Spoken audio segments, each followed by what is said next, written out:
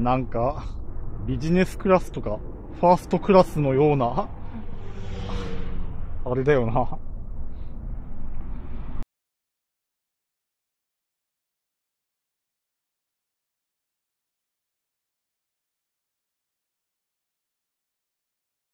ああ、すげえくつろげる。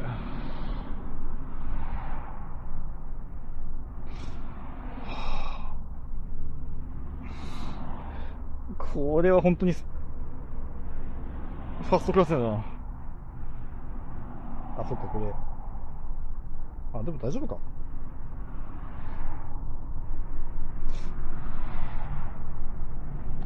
で、よいしょ。これで、あー、最高。寝れる。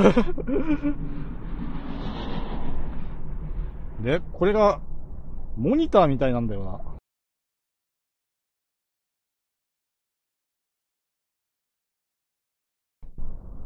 な。で、一応収める。ん？で、これは、こう開けて。なんだろう、これ。ワインセラー？なんか冷蔵庫みたいな感じではするな。ちょっと、一応。あ、こうか。閉める。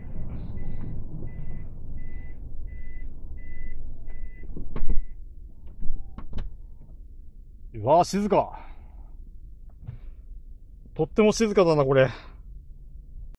快適だ。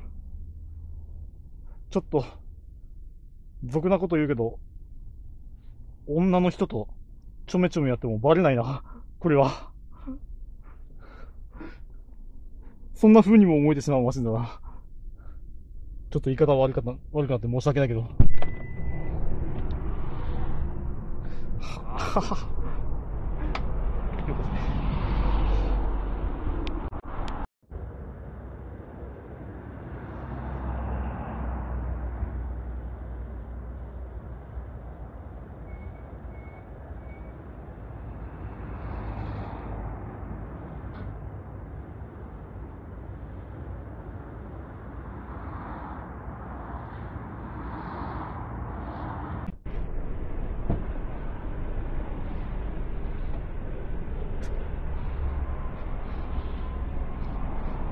これトランク全開にしてもここまで開かないです。意外とトランクはあんまし広くない。ゴルフバッグ、うわ縦に置けば2つか3つ置けんのかなと。そんな感じですかね。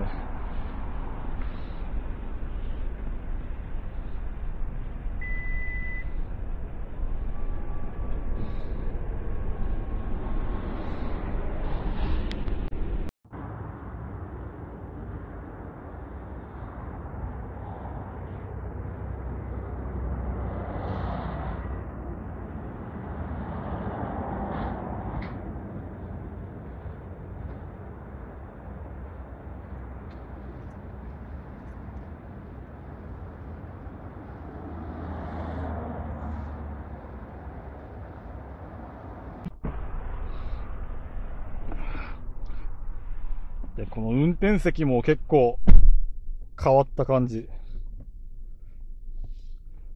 こう、座ると、やっぱり、視認性、やっぱかなり広いなと。で、ここが、あの、USB 接続は、あ、ちょっと暗くなっちゃったけど、ちちょっとスポットライトつけときます。で、運転席もかなりなんか乗り心地はいい。本当に全体的に乗り心地重視な感じ。ステアリングも、うん、LX みたいな感じなのかなステアリングは。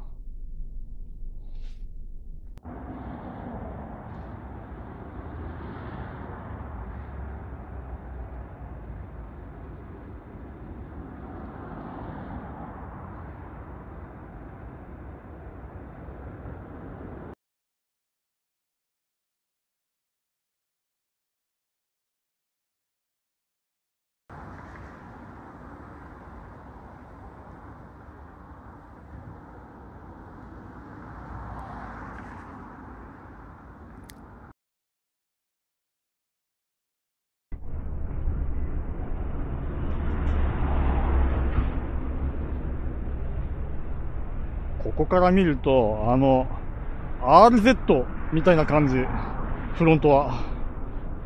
RZ まだ乗ったことないからわかんないけど。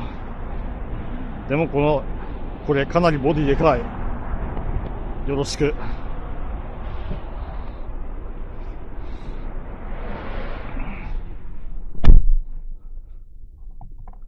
さて。エンジンは、と言っても、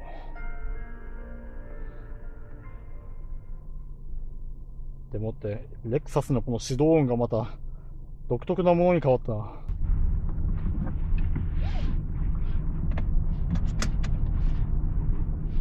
正直僕はあんまミニバンは運転しません。久々に運転する感じです。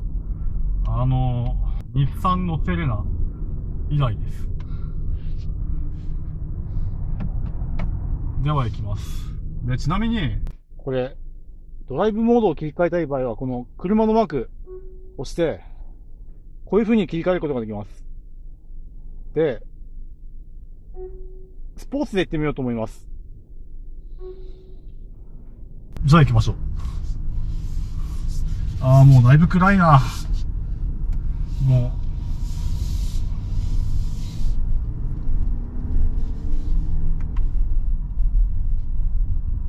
ああ、そうだ。ここあれだ。罠があるんだ。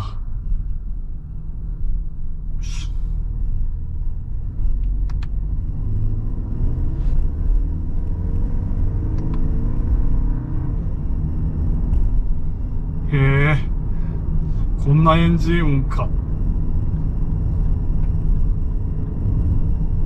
かなりでかいボディな割に結構加速力は強いな。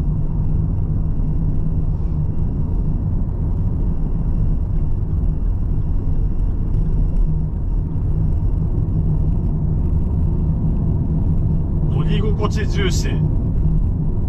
バンド結構まあ加速力は強い。ダブルモーターだしね。これ。それとあれ車体が重いせいかどうかわかんないけどコーナーカーブ曲がるときのその G のかかり方もうん少なめなのかな。な少しやっぱりこう、あの、右前、今左に曲がったんですけど、右前輪にちょっと G かかってる感じはしました。G って荷重かかってる感じはしました。で、この LM ラグジュアリームーバー僕個人的にラグジュアリーミニバンかと思ってました。でも違ってラグジュアリームーバーでした。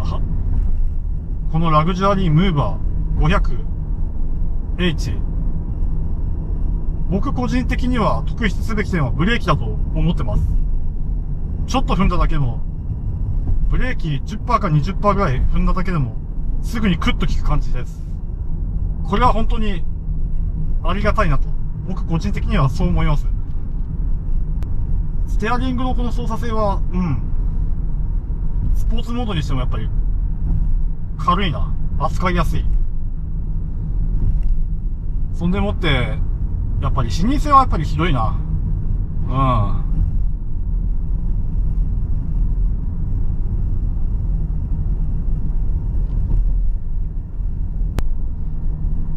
これって、やっぱりこのボディのデカさだから、走りを楽しむマシンじゃないもんな。あの、要人とかをくつろがせるマシンだよな。あの、なんだっけな、メルセデスの S クラス、マイバッハ。あと、レクサスでいう、あの、LS とか、そういった感じのマシン。ちなみに、価格が、えー、っと、諸経費とか、あの、すべてのその、搭載パーツ、それらを全部込みで、えー、っと、2050万くらい行くマシンです。レクサスの、あのー、車の中ではもしかしたら一番高いかもしれない。でもレクサスで、レクサスの動くもので一番高いやつって言えば、やっぱり、LY か。LY。あれはもう、4億から5億だな。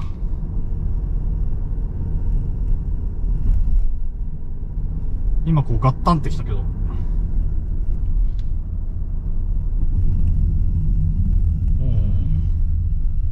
ブレーキはやっぱり効く。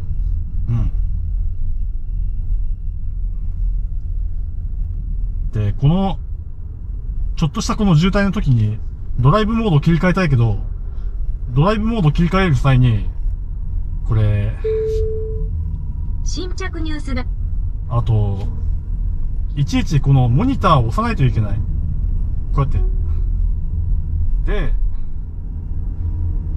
こういう風に押さないといけない。これがちょっと怖い。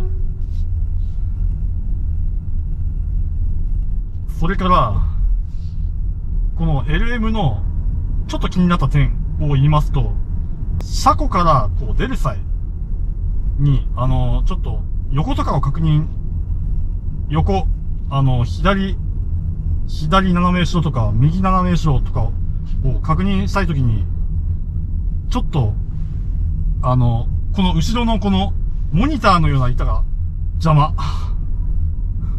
これはちょっと確認しづらい。それはちょっと気になりました。でもやっぱあれだろうな。こう、足回りとかもそうだけど、足回りもやっぱり、うん、用心をくつろ、くつろがせるようなためのマシンだと思うから、うん。足回りはやっぱり器用なんだろうな。こういった、この継ぎ目のガタンガタン、あんま好きにならない。おそらくショックアブソーバーは、電子制御デバイスなのかな。モーターもダブルモーターだしね。意外と。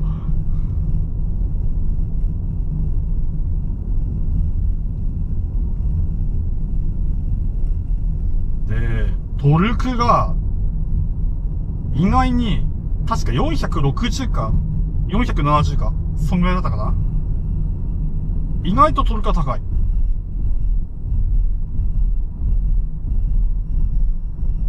でもまあさすがに、あの、なんだっけな、LX とか LS にはちょっと及ばないけど。あ、でもあれか、バモーターの部分もあるから、あの、トータルのトルクだったら、もっと高いか。ちょっと詳しく調べてないんで、ちょっとごめんなさい。まあ、これ、あとハイブリッドなんで当然、サウンドはしません。あの、RCF とか LC500 とか IS500 みたいに、あの、あのエンジンじゃないんで、水油 RJC エンジンじゃないんで、まあ当然ですけど。ああ、ステアリング、ステアリング操作性は、うん、意外といいな。切った分だけなんかクッと曲がってくれる感じはする。まずいな。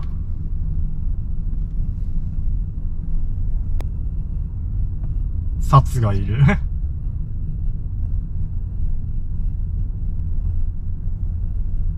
サツ、ピーポーくんがいる。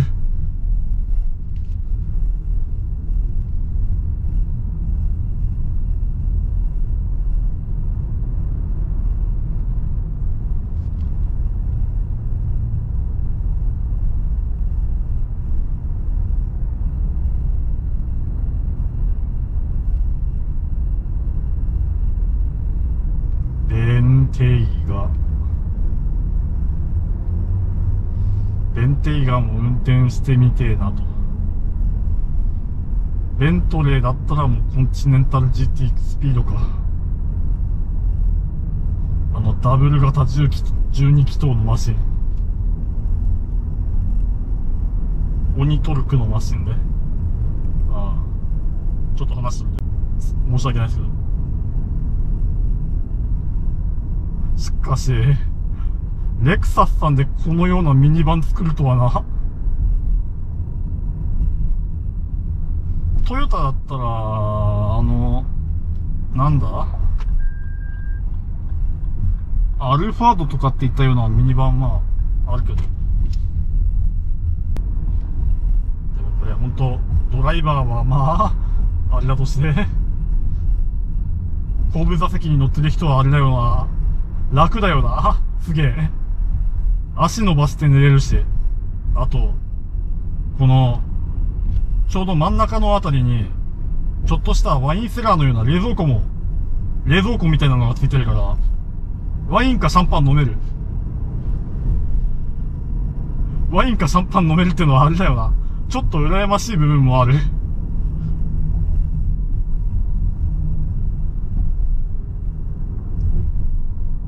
レインボーブリッジは綺麗だね。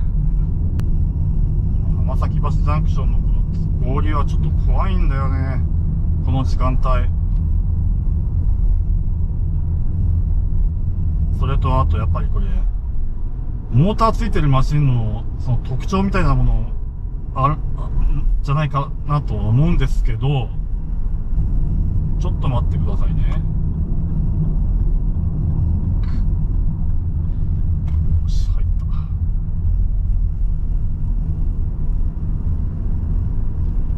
あの、こう、なんつうんだろう、金属がちょっと、キーンってなんか、擦れるような音がするんですよね。しばしば。これは、やっぱりこの、モーターがついてるマシンの、その、特徴というか、まあ、うん、短所というか、そういうもんなんだろうなと。こればっかりはしょうがないのかな。電気自動車もそうですけど。この音はちょっと、やっぱり気になりますよね。キーンっていう感じ。意外とやっぱ走りは悪くはねえなと。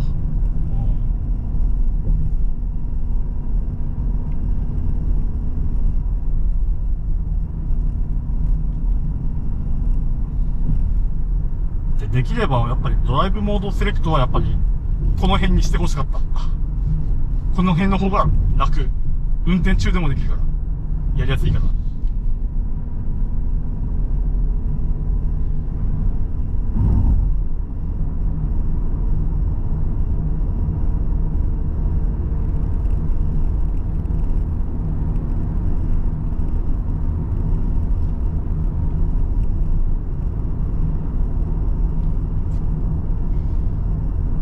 18時近い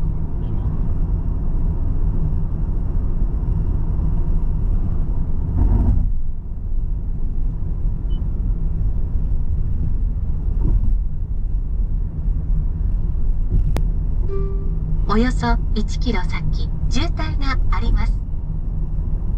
どっち方向ですか？どっちもですか？1キロ、1キロ先渋滞がありますって？こっち？それともこっち？危ね。ああ、よかった。踏んでね。ちゃんと、またいった。そこに張り付いたかと思った。仮にタイヤで踏んだら、ちょっと巻き込む恐れはあるから。巻き込んでしまったら、ちょっと、下手するとブレーキにも巻き込んでしまう恐れがあるから。ああいったビニール袋も極力、極力は踏みたくない。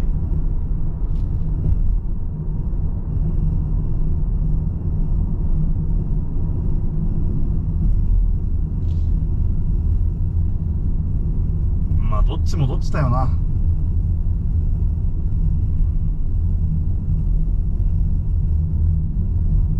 こっちはまた辰巳に戻りたいからあれだ。やっぱりさ、キーンってこの音。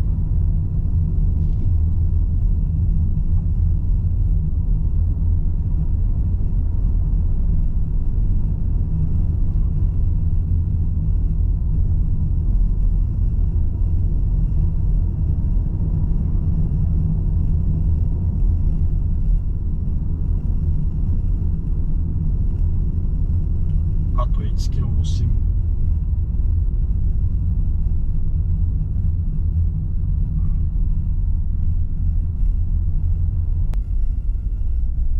ポルシェか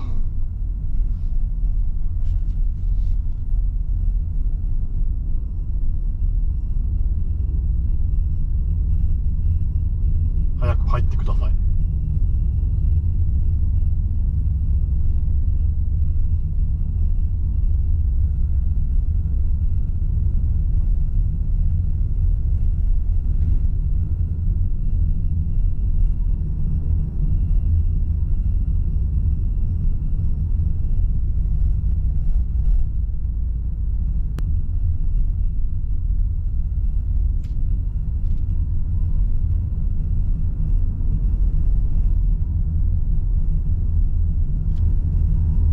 よし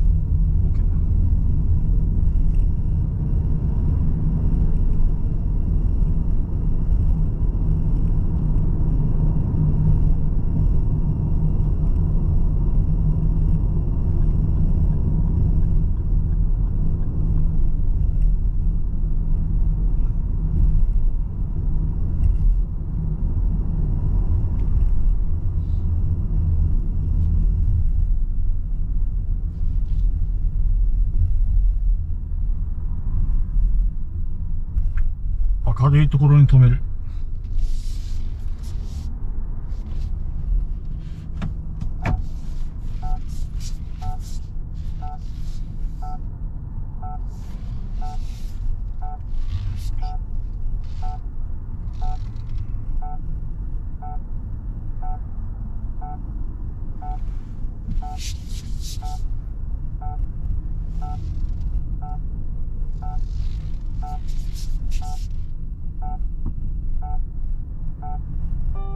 右後方です。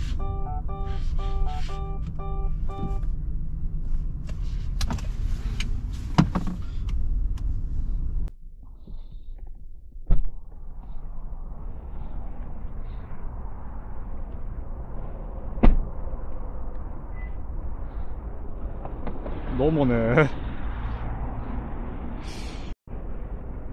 なるほどなこれがラグジュアリームーバーってやつか。今回もご視聴いただきましてありがとうございます。